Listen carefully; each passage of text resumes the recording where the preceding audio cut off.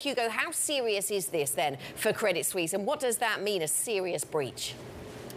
Indeed, the language is packs a certain punch, but as as often the case with with the Swiss regulator FINMA, there are not many things that they can really do to uh, drive the message home.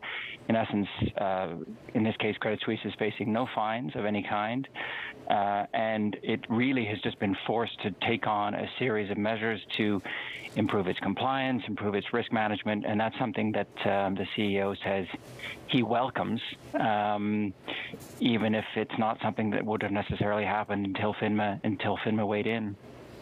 So Hugo, give us a little bit of a timeline on this. Is this the end of the probe for Credit Suisse, or is there more to come?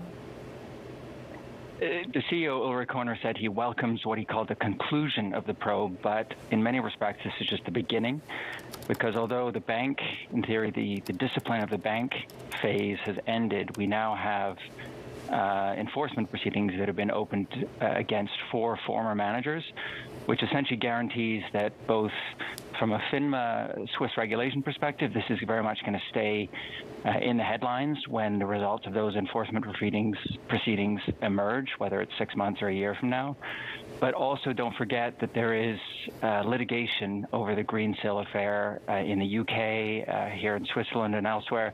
So we're essentially facing um, years of bad Green Greensill headlines still to come for the bank. So this is uh, by no means over, even if um, Mr. Körner is, is wishing it as such in his statement today.